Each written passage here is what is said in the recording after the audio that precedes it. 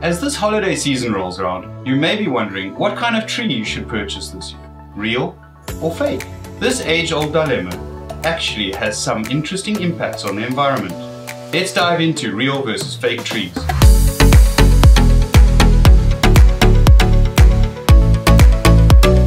It might seem like fake trees are the more eco-friendly option, right?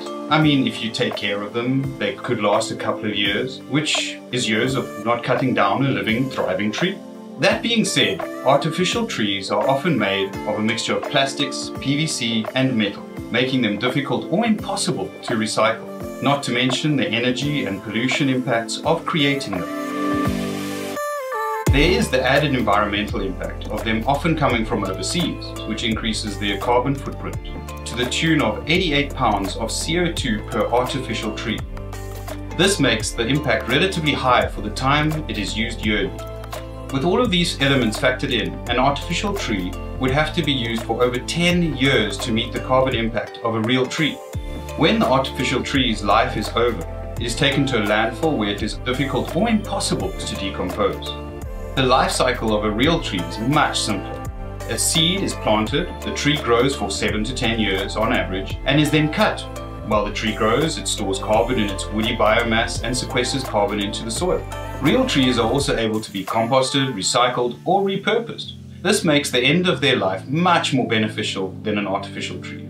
Trees grown on small-scale, sustainable local farms are much better than mass-produced trees, grown far away and transported to your area.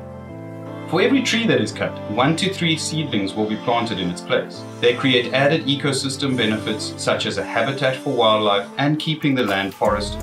However, not all real trees are source sustainable, so asking questions and researching can help find the right tree. Getting trees from local areas also decreases the risks of spreading disease, pests or invasive species.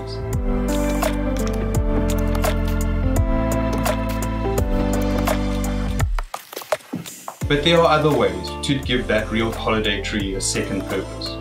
You can participate in a local tree recycling program. The tree can be turned into mulch using a wood chipper, or even secure it outside to create a shelter for wildlife. And some local environmental organizations can repurpose them for restoration projects. In the Pacific Northwest, creative groups are using spent holiday trees to provide needed habitat for salmon and other fish.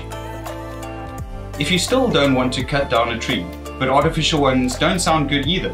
There are options such as renting a tree, where instead of being cut, a tree is left in a pot to continue growing. You can also buy a potted tree and plant it outdoors in the spring. Make sure you buy a native tree that will be able to survive in your climate and environment. You could even utilize a plant you already have.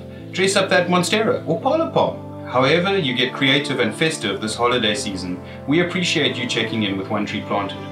If you'd like to get your hands dirty planting trees with us, learn more, or get involved, check out the links in the description below or visit our website. Happy holidays!